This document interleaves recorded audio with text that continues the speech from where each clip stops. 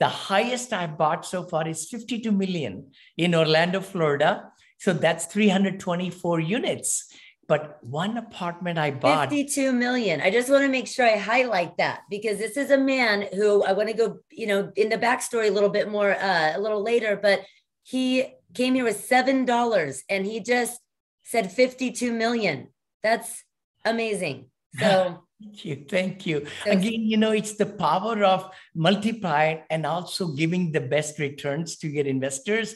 Then they, you know, tell their family and friends and everybody, then they start putting more money with you.